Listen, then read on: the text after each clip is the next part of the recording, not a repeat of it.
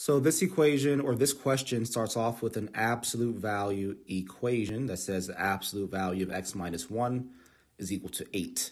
The question goes on to say if x is a solution to the given equation, what is a possible value of x minus 1? So the very first thing that comes to mind is that I could simplify this question. Right? I could simplify the equation here.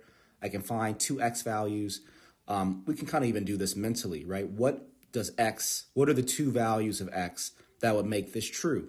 Well, if x were equal to 9, right, if I put a 9 in here for x, 9 minus 1 would equal 8, would equal 8, so that would work.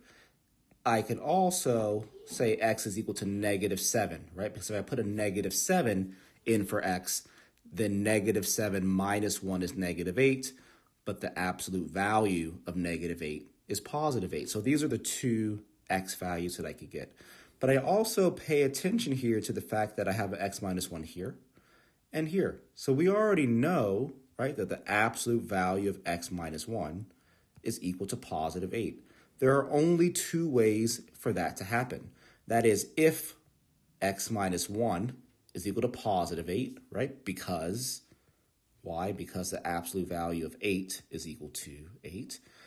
Then the other option is if what's inside the absolute value is negative 8. Why would that be the case? So again, just so we're clear, if x minus 1 equals 8, we'd get this scenario.